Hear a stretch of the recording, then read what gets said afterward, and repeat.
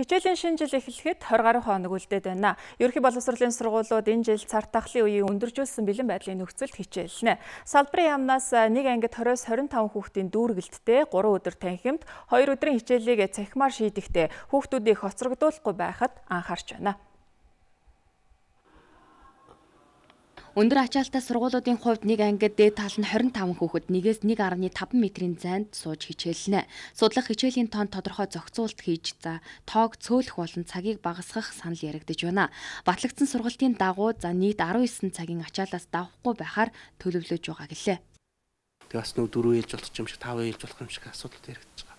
За хуучин үед энгийн сургалтын төлөвлөгөөр явхад одоо 11 дугаар анги өглөө 8-д ороод өдөр 1:30 хүртэл 7 цаг хичээлдэг бол энэ богино сусан цаг хичээл зохицуулт хийсэн хуваараараа бол тухайн анги магадгүй өглөө 8-д ороод 10:30 11 тарах. Тэгэхээр энэ хоёр групп л өглөө 8-аас 1:30 хооронд хоёр групп багтаад хичээлдэг гэсэн үг. Одоо мөрдөж байгаа сургалтын төлөвлөгөөн дээр бол Монгол хэл бичиг уран зохиолын хичээл бол 3 цагаар 7 хоногт за математик бол 4-5 цагаар гэдэг ингээд тавигдсан байгаа. А бусад хичээлүүд одоо 2 цагаар судлаж байгаа хичээлүүд 1 тий 1 цагаар судлаж байгаа хичээлүүд 0.5 ч юм уу ингэж болж орж.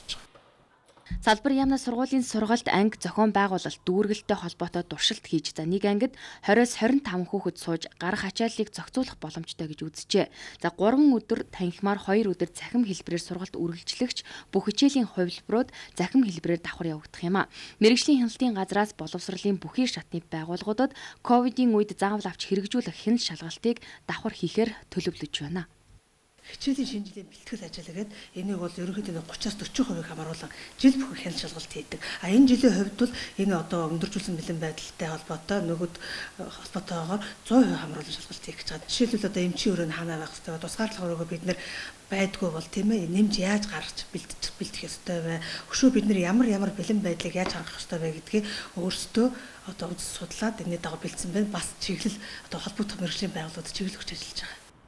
За харин ач холбоог анги дүүргэлт цэрэг орон нутгийн ерөнхий боловсролын сургуулиуд өмнөх шигэ энгийн хуарийн дагуу хичээлэх юм байна. За мөн энэ жил 1-р ангид элсэн сурагчдыг захимаар бүртгэж эхэлсэн өнөөдрийн байдлаар нийслэсэн хэмжээнд 100000 орчим хүүхэд бүртгүүлээд байна.